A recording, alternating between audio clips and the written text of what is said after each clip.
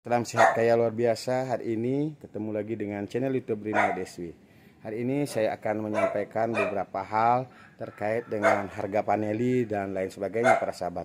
Nah, para sahabat di mana pun Anda berada, kita tahu bersama bahwa mindset atau pola pikir petani Indonesia ketika harga murah mereka akan berhenti menanam dan juga mengabaikan tanamannya. Nah saat ini juga bagi teman-teman yang mau berinvestasi menanam paneli, saya ajak untuk bagaimana melakukan penanaman paneli karena kelebihan dari